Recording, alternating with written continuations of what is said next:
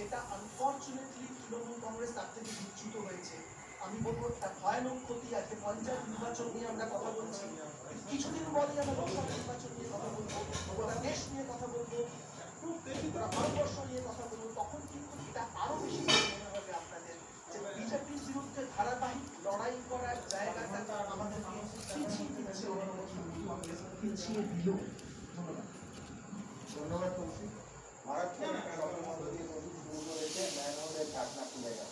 কারণ কথা হলো যে কোন বাধ্যবাধকতা কোন বাধ্যবাধকতায় ওইভাবে কিন্তু আমার সামনে বসে আছে সদ্য প্রাপ্তবয়স্ক হয়েছে তাকে আজকে প্রার্থী হয়ে, এবং শাসক দলের প্রার্থী হয়ে তাকে বলতে হয় যে আমি নির্বাচনে লড়তে চাই না। কি হবে সেই নির্বাচন?